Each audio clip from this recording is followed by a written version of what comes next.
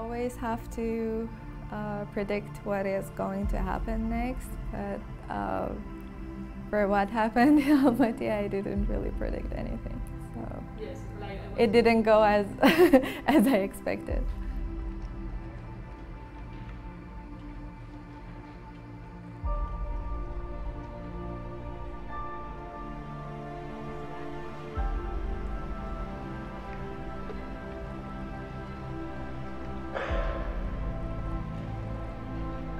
All the things happened in Iran, I thought if I go to a tournament uh, and I, I have to play with the headscarf, I prefer not to go at all. So I decided to uh, I decided to do it this time without the headscarf.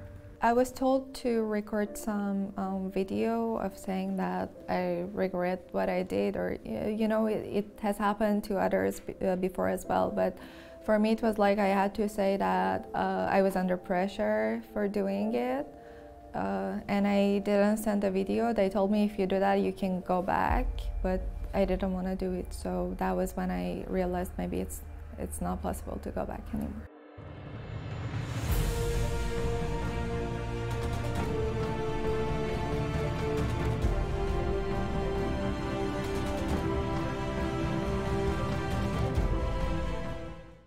The way they are ruling the country is very strict way, and you don't see much democracy happening in the country.